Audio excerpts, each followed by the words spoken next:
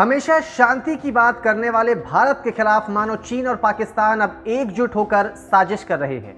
पहले पाकिस्तान बातों की भाषा नहीं समझता था और अब उसी रास्ते पर चीन भी चल रहा है और दोनों मिलकर सीमा पार बैठकर भारत के खिलाफ षड्यंत्र रच रहे हैं। चीन ने मानो भारत को पूरी तरह से घेरने की तैयारी की है और इसके लिए उसने साथ लिया है पाकिस्तान का। वही पाकिस्तान, जो चीन के कर्ज में डूबा है और शायद इसीलिए पाकिस्तान अब चीन की जी हुजूरी कर रहा है। जो चाइना कहता है, वैसा ही पाकिस्तान कर रहा है।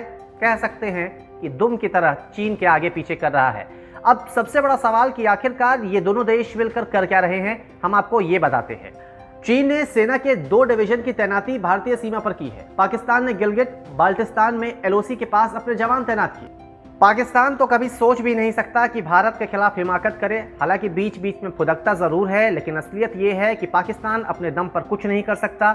या तो वो अपने पाले हुए आतंकी संगठनों के कहने पर करता है, या फिर अब चीन के कहने पर कर रहा है, क्योंकि चीन के पूरे कर्ज में पाकिस्तान पूरी तरह से डूबा हुआ है। चलिए, सबसे पहले हम बताते हैं कि चीन की प्लानिंग क्या है, क्या कुछ चीन सीमा पर कर रहा है। सीमा पर चीन ने बीस हज़ार जवानों की तैनाती की है।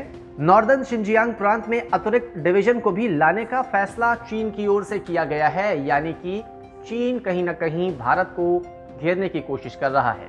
तो इधर चीन चाल चल रहा है तो उसी के पीछे पीछे पाकिस्तान भी मानो दुम बना फिर रहा है, और भारत के खिलाफ उसने भी कुछ साजिश तैयार की है। एक तरह से कह सकते हैं कि भारत को डराने की, उसे घेरने की एक कोशिश की है, लेकिन पाकिस्तान को भी बखूबी पता है कि भारत डरने वाले देश में से है नहीं। खैर, पाकिस्तान क्या कर रहा है, ये हम आपको बताते हैं।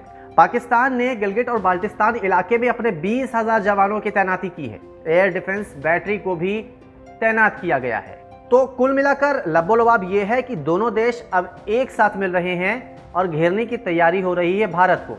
इसे दूसरी भाषा में अगर समझें तो भारत के खिलाफ टू वॉर फ्रंट की साजिश हो रही है। चीनी आर्मी ने आतंकी संगठन अल बदर से भी संपर्क किया है। जम्मू कश्मीर में हिंसा फैलाने की साजिश संभव है। भारत को ये अच्छे से पता है कि चाइना क्या कुछ कर सकता है और चाइना किसका किसका सहारा ले सकता है। उसके दोस्त अभी बचे हैं नेपाल और साथ ही साथ पाकिस्तान। लेकिन भारत के साथ अगर हम बात करें तो अमेरिका, रशिया, ये तमाम ऐसे बड़े देश हैं, सुपर पावर हैं, जो भारत को हर तरीके से हम कह सकते हैं कि मजबूती देंगे उनका साथ देंगे।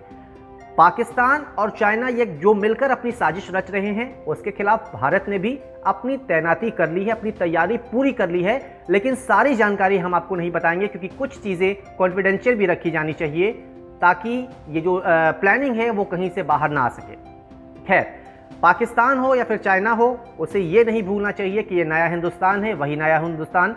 जिसने एयर स्ट्राइक के ज़रिए पाकिस्तान को सबक सिखाया था, साथ ही साथ सर्जिकल स्ट्राइक के ज़रिए पाकिस्तान को एक ऐसा चोट दिया था जिससे आज तक पाकिस्तान उबर नहीं पाया है।